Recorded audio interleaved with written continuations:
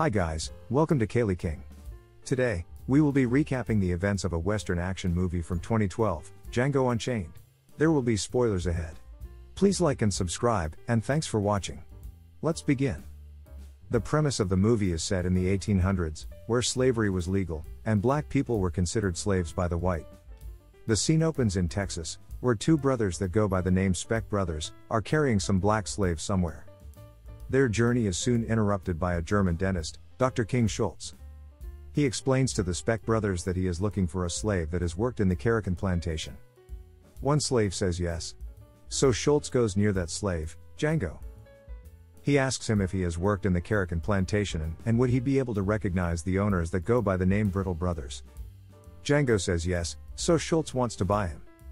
But, the Speck brothers deny his offer, so Schultz is forced to shoot one brother, and injures the other one. Then he makes a receipt of buying Django, and throws money at the injured brother. Schultz then leaves with Django, and the other slaves kill the injured brother. The scene ends there, and now we see Schultz and Django in a town. There, people are shocked to see a nigger on a horse. Actually, black people are referred to as niggers, and it's uncommon for them to ride horses. Then they stop in a bar to talk, but the barkeeper refuses to serve a nigger. So Schultz points his gun at the barkeeper, and he runs to call the sheriff. Now, Schultz and Django sit together and Schultz explains that he is a bounty hunter. It means he kills criminals and presents them to the jurisdiction for money. And he wants to kill the Brittle brothers as they are wanted criminals. So he has hired Django to help him recognize the real Brittle brothers. In the meantime, the barkeeper arrives outside the bar with Sheriff. But, Schultz takes his gun out from his coat and instantly shoots him. All the people around get scared, and the barkeeper runs to call the marshal. Now the marshal arrives outside the bar and asks Schultz and Django to surrender. Schultz agrees to surrender and comes out from the bar with a wanted warrant for the sheriff. He explains to the marshal that the sheriff was actually a criminal in disguise, and he was wanted by the court of Texas. This way, Schultz and Django leave the town safely. Then at their camp, Schultz asks Django what would he do after being free? Django replies that he would go and free his wife, Broomhilda. Then we get a little flashback, where an R was imprinted on Django and Broomhilda's face for attempting to run away. Here, we also get to know that Broomhilda could speak German as she was raised by German owners. Now Schultz and Django stop in Tennessee, and Schultz explains his plan. According to him, both of them will visit the Carrucan plantation, and Django will play the role of a free servant. So, once they are there, Django can find the Brittle brothers and kill them. Now they get ready and reach the mansion of Spencer Bennett. Schultz plays the role of an expensive buyer and goes inside with Spencer. Meanwhile, Django goes to roam in the garden and finds the Brittle brothers. He kills one brother right away as he was torturing a slave. Then he takes a hunter and beats the second brother brutally before finishing him off. Schultz then arrives at the scene and shoots the last brother from a distance with his rifle. Seeing all this, Spencer Bennett arrives at the scene with his men. But Schultz explains that these three brothers were actually criminals and there was a bounty on their head by the Texas court. Spencer is forced to let Schultz leave, but makes up his mind of taking revenge. At night, we see Schultz putting something inside his carrot before going to sleep. There, Spencer gathers all his men and comes to kill Django and Schultz. But Schultz and Django are already away from their carrot, and Schultz shoots the dynamite he has stored inside. A big blast happens, and Spencer's several men get injured. Spencer starts to run away, but Schultz has made up his mind about killing him. He gives his rifle to Django and asks him to shoot Spencer. Django hits the bullseye and kills Spencer from far away. Schultz gets impressed by Django's natural talent and offers him a job. He asks Django to work with him till the winter, and then he would help him find Broomhilda. Django takes the proposal, and the two of them start hunting bounties together. On Django's first bounty, he has to kill a criminal who's working on the farm with his son. He hesitates at first seeing the kid, but shoots him like a sharpshooter and kills him.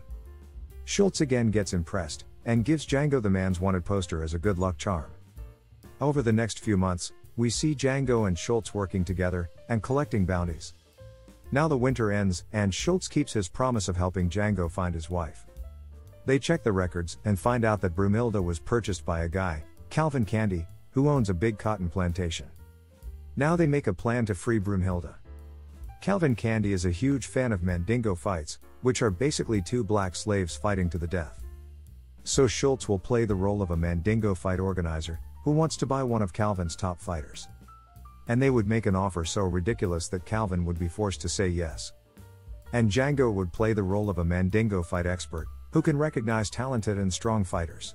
This way, they would buy Broomhilda along with Calvin's top fighter. Now in the evening, they meet Calvin Candie at his bar, who is already watching a Mandingo fight. In the fight, Calvin's fighter gets in control, and on his command, kills the other fighter with a hammer. Now the two parties sit together and Schultz offers $12,000 to buy the top fighter. Calvin is unable to refuse this ridiculous offer and invites them to his farm. The following day, all of them leave for the farm and Django has completely gotten into his character. He is acting like a rude black man, and even gets into an argument with a white man. On their way, a nigger is presented before Calvin, who tried to run away. Calvin punishes him in front of everyone and releases his rabid dogs to kill him. Schultz gets super sad seeing this, as he doesn't discriminate between people based on their color. Later, they finally reach the farm and Calvin meets his widow wife and the loyal housekeeper, Stephen. Stephen gets irritated seeing Django, a nigger on a horse, but calms down on Calvin's command. Now, Schultz demands the German slave Broomhilda as he wants to talk to someone in his mother tongue. Calvin approves his demand, as he is trying hard to please his guest. Here, Stephen tells Calvin that Broomhilda is actually being punished, as she dared to run away. She is locked in a metal box under the sun, naked. Calvin's slaves now release her and get her ready to present her to Schultz. In the evening, Broomhilda is presented to Schultz, and he explains everything to her in German, so no one gets suspicious. At night, both parties sit together for dinner and discuss the proceedings for their trade. Schultz says that he'll come back within five days with his lawyer and sign the papers for buying the fighter. Here, Broomhilda can be seen really happy, as he has met her husband after so long. Stephen notices this and gets suspicious. He asks Broomhilda if she knows Django, but she denies it. He soon finds out that Django is her husband and decides to tell everything to Calvin. In the dining room, Schultz was just about to present his proposal for buying Broomhilda, but Stephen interrupts and takes Calvin to the library. In the library, Stephen explains everything to Calvin that they are here to only buy Broomhilda, and everything else is just a farce. Calvin slowly understands everything and goes back to the dining table. He puts a hammer above Broomhilda's head and asks Schultz and Django to pay $12,000 for her. Schultz reluctantly pays $12,000 and saves Broomhilda. Now Calvin gets all the paperwork ready and both parties sign the contract. There, we see that Schultz is still horrified and disgusted by the scene where Calvin's dogs killed a man. Nevertheless, the three of them start to leave, but Calvin stops them. He says to Schultz that according to their law, no deal is complete without the parties shaking hands. Schultz denies shaking hands, and even humiliates Calvin for his brutal nature. But Calvin is adamant and he says that they cannot leave unless they shake hands with each other. Schultz reluctantly moves towards Calvin to shake hands, but instead, takes out his gun and shoots him. Calvin's slave quickly responds and kills Schultz with a shotgun. Now Django takes out his guns and starts a massacre in the mansion. He kills many people, but runs out of bullets after some time. And Stephen blackmails him that if he doesn't surrender, he'll shoot Broomhilda. Django reluctantly surrenders and comes out. Stephen and his men torture Django and hang him upside down.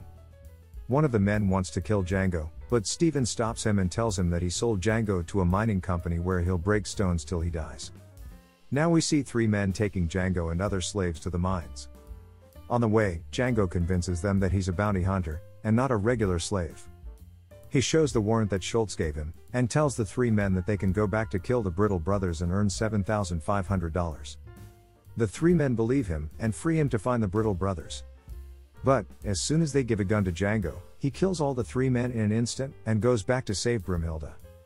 He again starts a massacre at the farm and kills all the men, but lets women slaves go away. Lastly, he shoots Stephen in the knee and then blows up the entire mansion before leaving with Broomhilda. That was it for the recap, guys. Don't forget to subscribe and comment on the movie you would like to see next. Thanks for watching.